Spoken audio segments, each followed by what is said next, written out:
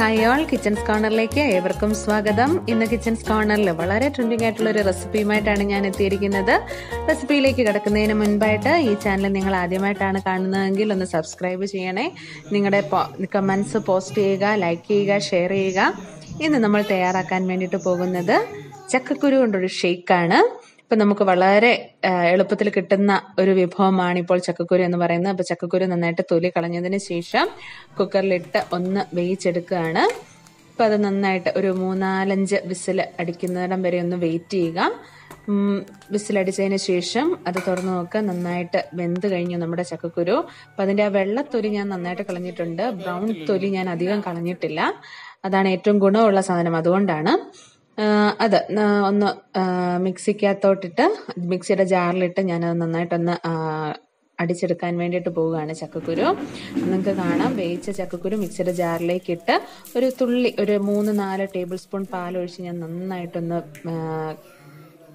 അരച്ചെടുത്തിട്ടുണ്ട്. ഇനി അതിലേക്ക് നമ്മൾ ഫ്രീസ് ചെയ്ത് വെച്ച പാൽ ഒഴിച്ചു കൊടുക്കുകയാണ്. ഫ്രീസ് ചെയ്ത് വെച്ച പാൽ ഒഴിക്കുന്നു ഇനി ആ ജാറിലേക്ക് പഞ്ചസാര ആഡ് ചെയ്യുന്നു. ഞാനിവിടെ നാല് ടേബിൾ സ്പൂൺ പഞ്ചസാരയാണ് ആഡ് ചെയ്യുന്നത്. മധുരം കൂടുതലായിട്ട് വേണമെന്നുണ്ടെങ്കിൽ അടിച്ചു കഴിഞ്ഞാൽ നമുക്ക് ടേസ്റ്റ് അനുസരിച്ച് മധുരം ആഡ് ചെയ്യാവുന്നതാണ്. ഇനി അതിലേക്ക് ഞാനൊരു കാൽ ടീസ്പൂൺ വനില എസൻസ് ചേർത്ത് കൊടുക്കുന്നു. വനിലയുടെ ഒരു ഫ്ലേവറിന് വേണ്ടിയിട്ടാണ് രണ്ട് ഏലക്കായും കൂടെ ആഡ് ചെയ്യുകയാണ്.